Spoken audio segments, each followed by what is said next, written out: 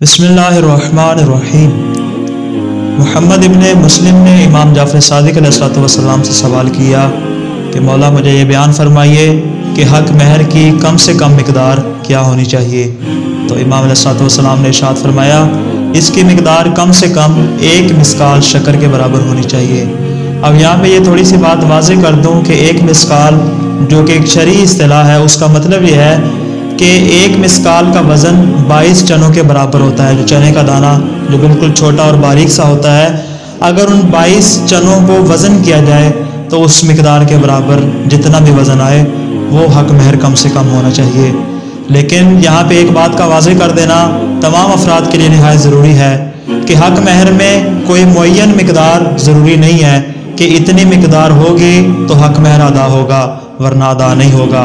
बल्कि हक महर में एक कायदा कुलिया यह है कि ऐसी मकदार कि जिस पर तरफ़ैन राज़ी हो जाए, लड़के की तरफ़ से भी और लड़की की तरफ़ से भी। दोनों तरफ़ैन और दोनों फरीकैन जिस रकम पर भी राज़ी हो जाए, वही औरत का हक महर करार पा जाएगी। अब चाहे वो एक रुपए की सूरत में हो या फिर एक लाख रुपए की सूरत में।